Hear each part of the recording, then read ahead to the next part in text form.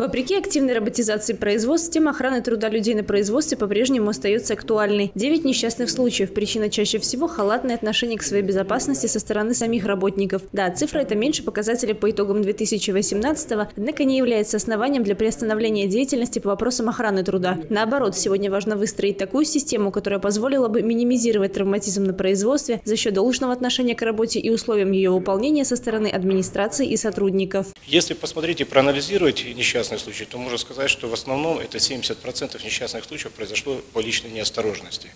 Поэтому надо э, прежде всего нашим работникам на предприятиях и руководству э, субъектов хозяйства задумываться не то, что именно сам себя покалечил непосредственно работник, а то, что за его э, спиной стоит его семья, его родные, близкие и, конечно же, то, что переживают за него, потому что это травма не только для него одного. Одна из форм работы, закрепившаяся в городской комиссии, проверка условий труда на предприятиях представителями мобильных групп. Они посещают различные площадки, от полноценных организаций до обустроенных временных выездных пунктов, строительных городков и бытовок. Мониторинги переведены на регулярную основу. Специалисты мобильных групп в случае выявления недостатков ведут лист рекомендаций, где прописан срок устранения нарушений. Главное – разложить каждый несчастный случай, всех 9 случаев.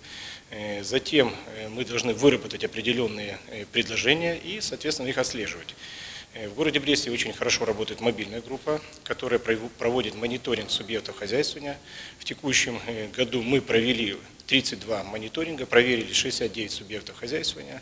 По результатам э, мы, конечно, выдали рекомендации, поставили на контроль и отслеживаем их выполнение. Активно в деятельность по охране труда вовлечены профсоюзные общественные инспекторы. За первый квартал 2019 ими было проведено 12 плановых проверок и 49 мониторингов. В результате было выдано нанимателям 12 представлений, 45 рекомендаций на устранение выявленных нарушений. Большое внимание уделялось оформлению документации, ведению журналов, проведению инструктажа этажей, наличию инструкции на рабочих э, местах, своевременному пересмотру.